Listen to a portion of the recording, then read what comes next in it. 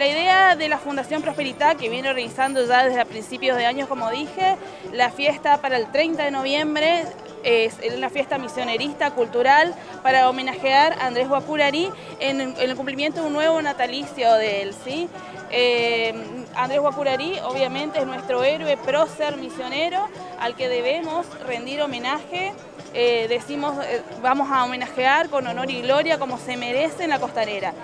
El evento consiste, se llama Manduá, significa memoria en lengua guaraní, porque vamos a rendir Manduá a Andrés Guapurari el día 30 a partir de las 17 y 30 horas en la costanera.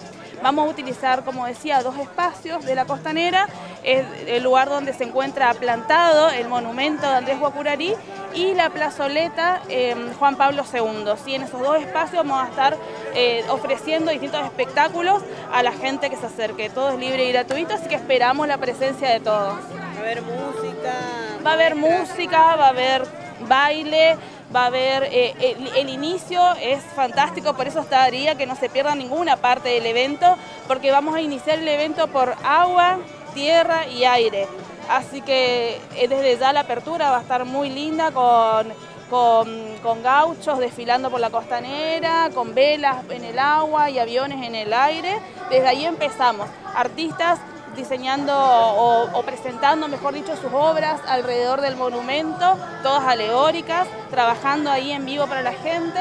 Y después el escenario principal donde van a haber una secuencia de baile y dan, o sea, canto, baile em, en, la plazoleta del Papa, sí, hasta, hasta la noche tarde. ¿Alguno de los artistas que podemos Y va a estar el ballet folclórico del Parque del Conocimiento, va a estar eh, Carosa Sueta con Irina Bader, que están hoy también cantando acá, va a estar el, coro estable del Parque del Conocimiento, eh, los grititos sinfónicos, un montón de artistas, sí.